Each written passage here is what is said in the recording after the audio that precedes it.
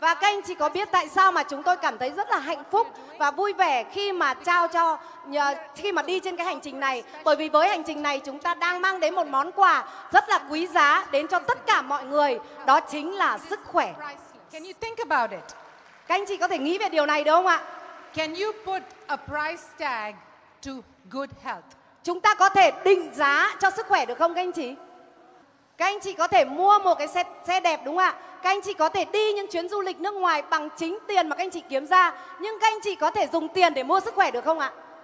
Thế là chúng ta hãy chia sẻ cái giá trị tuyệt vời về sức khỏe này từ người này sang người khác, từ gia đình này sang gia đình khác và tất cả mọi người đều cần đến món quà này.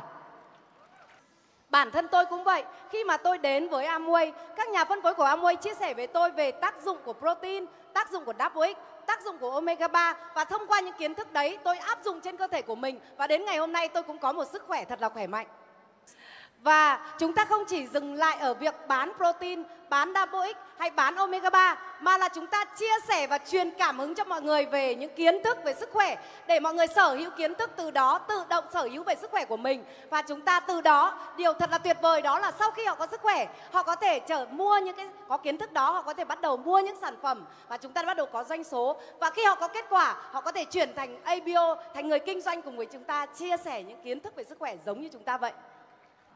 Và tôi biết rằng các anh chị ngồi đây, các anh chị đã chê, đang trên cái hành trình lan tỏa cái giá trị tốt đẹp về sức khỏe rồi. Và các anh chị hãy tiếp tục cái cuộc hành trình đấy của mình. Bởi vì các anh chị sẽ nhận được một lời cảm ơn, những lời cảm ơn sâu sắc từ họ đến với các anh chị. Bởi vì các anh chị đang trao cho họ một món quà thật là vô giá, đó chính là món quà về sức khỏe.